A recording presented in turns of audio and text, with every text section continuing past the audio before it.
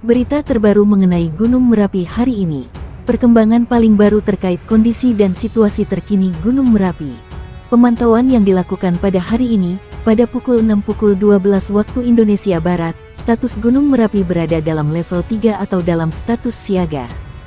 Gunung Merapi yang berada di Kabupaten Kota Sleman, Magelang, Boyolali, Klaten, Daerah Istimewa Yogyakarta, dan Jawa Tengah dengan posisi geografis di latitud minus 7542 derajat Lu, longitude 110442 derajat BT dan memiliki ketinggian 2968 mdpl kembali bergemuruh. Status aktifnya gunung paling aktif di Indonesia ini membuat kewaspadaan kembali ditingkatkan.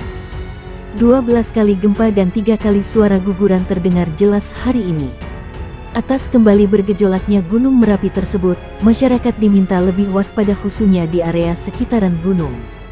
Naiknya status Merapi yang sebelumnya berada di level 2 kini dinaikkan menjadi level 3, dikhawatirkan akan ada pengaruh yang besar terhadap naiknya status dari Gunung Merapi. Berikut ini merupakan laporan dari pengamatan Gunung Merapi terkini pada hari ini, seperti dikutip kabar Besuki dari laman Magma.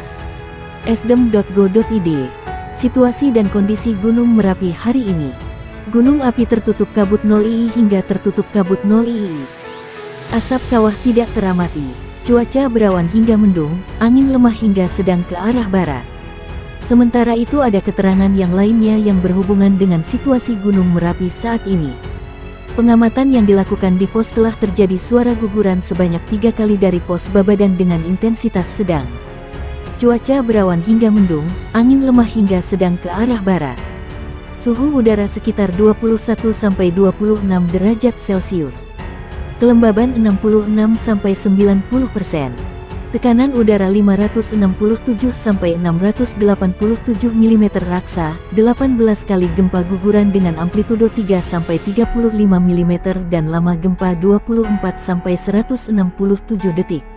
Tiga kali gempa hembusan dengan amplitudo 3-4 mm, dan lama gempa 19,5-21,4 detik.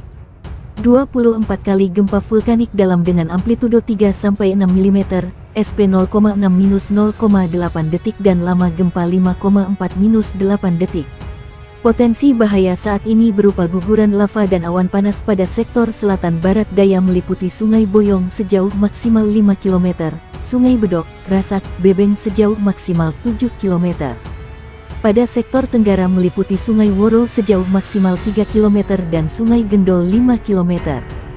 Sedangkan lontaran material vulkanik bila terjadi letusan eksplosif dapat menjangkau radius 3 km dari puncak masyarakat agar tidak melakukan kegiatan apa pun di daerah potensi bahaya. Masyarakat agar mengantisipasi gangguan akibat abu vulkanik dari erupsi Gunung Merapi serta mewaspadai bahaya lahar terutama saat terjadi hujan di seputar Gunung Merapi. Jika terjadi perubahan aktivitas yang signifikan, maka status aktivitas Gunung Merapi akan segera ditinjau kembali. Itulah situasi dan kondisi Gunung Merapi yang kami himpun hingga hari ini. Laporan terkait dengan perkembangan terkini akan dilaporkan secepat mungkin. Situasi dan kondisi terbaru Gunung Merapi hari ini. Perkembangan paling baru terkait kondisi dan situasi terkini Gunung Merapi.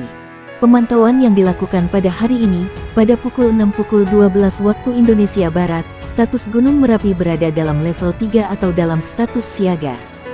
Gunung Merapi yang berada di Kabupaten atau Kota Sleman, Magelang, Boyolali, Klaten, Daerah Istimewa Yogyakarta, dan Jawa Tengah dengan posisi geografis di latitud minus 7542 derajat Lu, longitude 110442 derajat BT dan memiliki ketinggian 2968 mdpl kembali bergemuruh.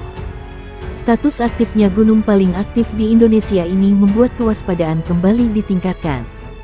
12 kali gempa dan tiga kali suara guguran terdengar jelas hari ini. Atas kembali bergejolaknya Gunung Merapi tersebut, masyarakat diminta lebih waspada khususnya di area sekitaran gunung. Naiknya status Merapi yang sebelumnya berada di level 2 kini dinaikkan menjadi level 3, dikhawatirkan akan ada pengaruh yang besar terhadap naiknya status dari Gunung Merapi. Berikut ini merupakan laporan dari pengamatan Gunung Merapi terkini pada hari ini, seperti dikutip kabar Besuki dari laman Magma. esdem.go.id Balai Penyelidikan dan Pengembangan Teknologi Kebencanaan Geologi BPPTKG menyebutkan Gunung Merapi di perbatasan Jawa Tengah dan daerah istimewa Yogyakarta itu mengeluarkan guguran lava sebanyak 43 kali. Angka tersebut itu selama dilakukan pengamatan. Pada minggu ini guguran lava teramati sebanyak 43 kali ke arah barat daya dominan ke Sungai Bebeng dengan jarak luncur maksimal 1.500 meter, kata Kepala BPPTKG Agus Budi Santoso melalui keterangan tertulis di Yogyakarta. Agus mengatakan berdasarkan analisis morfologi dari foto udara dengan drone di stasiun kamera Tunggularum, Deles 5 dan Ngepos, teramati adanya pertumbuhan pada kubah lava di bagian barat daya Merapi. Pada kubah barat daya teramati adanya pertumbuhan kubah. Volume kubah terhitung sebesar 1.664.000 meter kubik, sedangkan untuk kubah tengah sebesar 2.772.000 meter kubik, ujar dia. Intensitas kegempaan Merapi selama sepekan terakhir, menurut dia, terhitung masih cukup tinggi. Sementara itu, Deformasi Gunung Merapi yang dipantau dengan menggunakan EDM dan GPS pada pekan ini tidak menunjukkan perubahan yang signifikan. Pada pekan ini tidak dilaporkan terjadi hujan di pos pengamatan Gunung Merapi.